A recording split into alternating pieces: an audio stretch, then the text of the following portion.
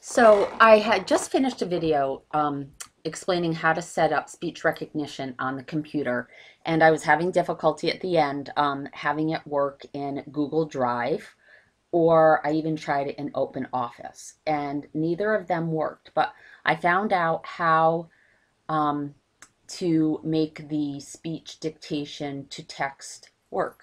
And all you have to do is go down to your start button and find WordPad. Now, it took me a little bit to find WordPad. Actually, I'll show you how I found it. So let's see. If you go to All Programs, All Programs, and you go to Accessories, I found it right above Ease of Access. So right there, WordPad. And it opens up a Word, um, a document for writing. And what I can do is now, see I have my um, speech recognition toolbar right here and I can turn it on. Hi, my name is Stacey Tully, period.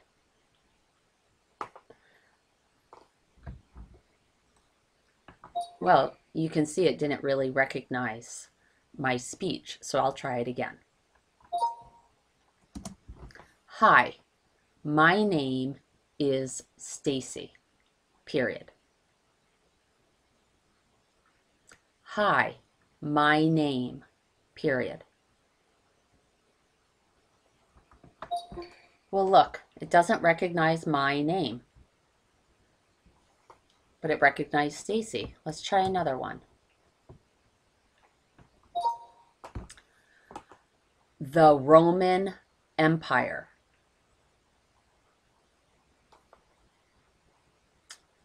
That didn't work very well. The Roman Empire. Oh, it's working now. Oh, I'll work now, the Roman Empire. Fairfield. Fairfield. Center. Center. Say center. School.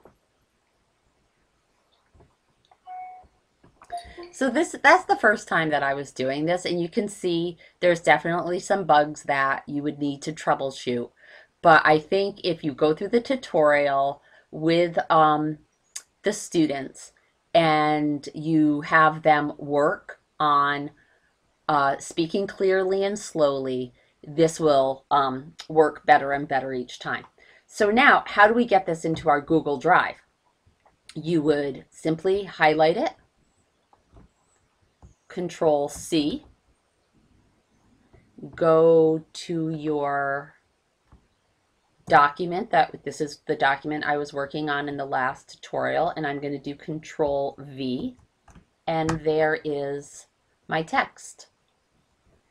And I didn't want them to say that word so I can just backspace it now. And I can capitalize it. The C capitalize the school it's actually good that the kids would have to do some editing um, along with it. But look at that. The majority of the typing, um, which might be a lot of work for a certain student, is taken away. This is available on an iPad in Google Docs, but some classes don't have the same amount of iPads as another class. And the students are becoming, you know, the one-on-one with the computer. So this is another tool that we can um, have kids use to help them with their typing and their writing.